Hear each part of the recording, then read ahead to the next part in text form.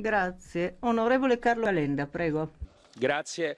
La democrazia liberale è sotto attacco e rimarrà sotto attacco per i prossimi dieci anni ed è sotto attacco dall'interno da partiti come la lega e il movimento cinque stelle in italia che la vogliono demolire e a questo attacco si risponde con le elezioni perché la democrazia si difende con la democrazia ma è anche sotto attacco dall'estero e questo attacco dall'estero si salda con i partiti che l'attaccano dall'interno e in questo caso non può bastare la democrazia a difendere la democrazia serve una commissione speciale per appurare in che modo ci siano state interferenze pesantissime da parte di quei partiti che pretendono di difendere l'interesse nazionale ma vendono l'interesse nazionale a paesi esteri.